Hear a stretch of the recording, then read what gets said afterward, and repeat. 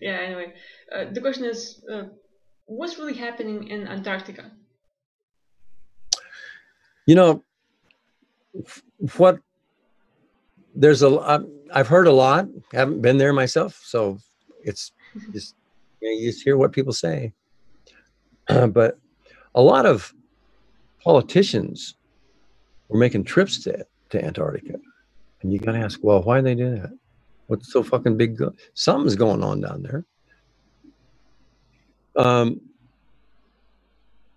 almost every meaningful nation in the world is part of a community of nations that made made agreements about they together they got together on this it's the only place on earth where everybody's agreeing and it's okay what's okay. And we're all going to like make sh- ensure this thing about antarctica. What's that? That nobody gets to go there. Except the super rich power elite government heads military uh, the uh, they won't let people just go there and do their own research, climb around on the ice and take their drones and make their own videos and stuff. The place is on lockdown. Nobody gets to go there unless you're approved. Why the fuck is that? If it's, you know, why can't an independent research scientist that maybe has a few million in grants and you know they give him a nice research like Jacques Cousteau in the old days. You know, here here's your research shit. We get you plenty of money. Go find out. Let's not listen to what the government say. Let's see what you find out. Take video. Can't do that anymore. So there's that. But then there's um, what I think is going on, and you know, it's like you got to do your your research and look it up, read it, and understand it, and decide whether you think it's true or false and stuff. What I, my conclusions are that um, Hitler, back in right after World War II, or just before the end of World War II, he starts shipping some scientists and technology down there, advanced technology. So there's that, and so Hitler got some bases down there.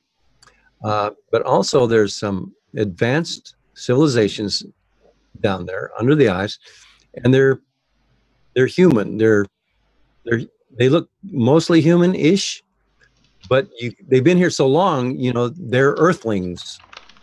They may not look exactly like us, but they're part of the galactic community of our ancient Earth history of millions of years, and they have huge cities underground in Antarctica. But so do the reptilians, and so do a few other races. And so there's a whole thing going on in Antarctica. And the government knows, but they're not telling. They just like the UFO cover up, it's the Antarctica cover up. And uh, I personally uh, find that Corey Goode and David Wilcock are telling a big story, sharing a lot of truth. Uh, their version of truth, what they say is true. And once again, you know, I've never been to these places they've been. But, you know, I've never been to Washington, D.C. Everything I know about what's going on in Washington, I'm reading about it or hearing about it in a video. So we we all decide what's credible information, and we we form a, a understanding of belief. And I get that some people don't think that they think that Corey Goode is somehow fake or psyops. Same with with David Wilcock. What I what I can't see, if that was true, I can't see the motive.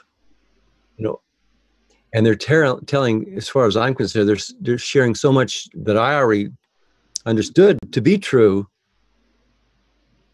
What would be the point? What what are they doing? what's the deep state of the dark side getting out of these guys if these guys were the agents? I'm not seeing anything. But I do see a lot. I see what people saying that these guys are psyops, bullshits artists, liars, shills, working for the bad guys. I can see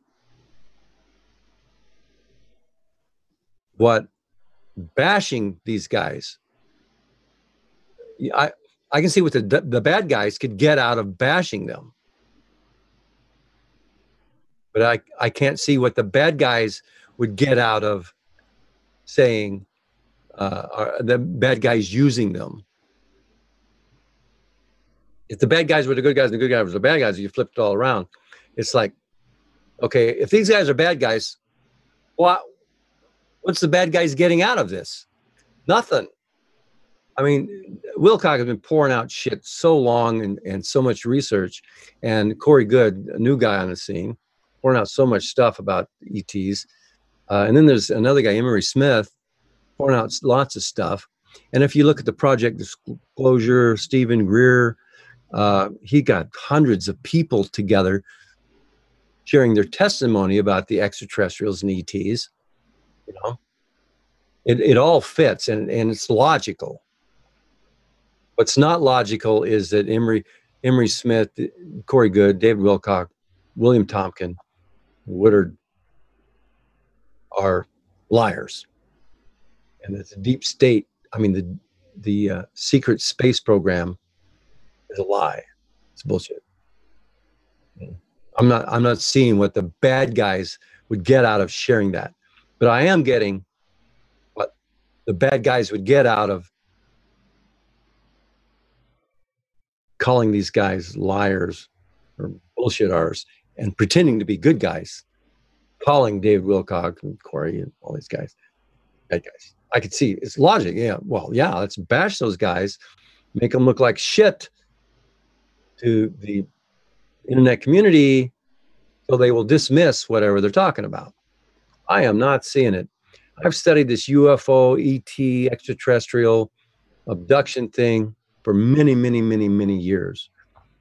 And what they're sharing just, just fits right in fucking line with everything else. And the only people I know that would like to think call them liars or the bad guys who have been doing that all along. So that makes perfect sense to me.